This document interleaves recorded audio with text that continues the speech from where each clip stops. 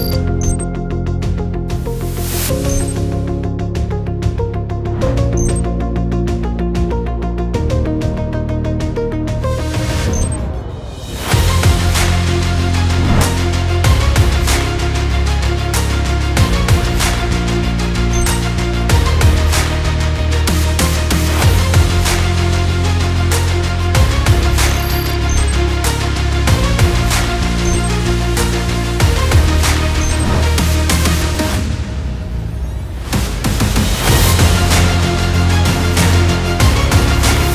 Welcome to the grand opening of DP Next Battery Assembly Plant.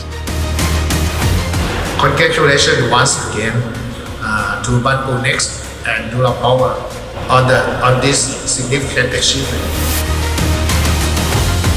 To build a battery plant here to service the commercial EV market, particularly for the logistics and the transportation market.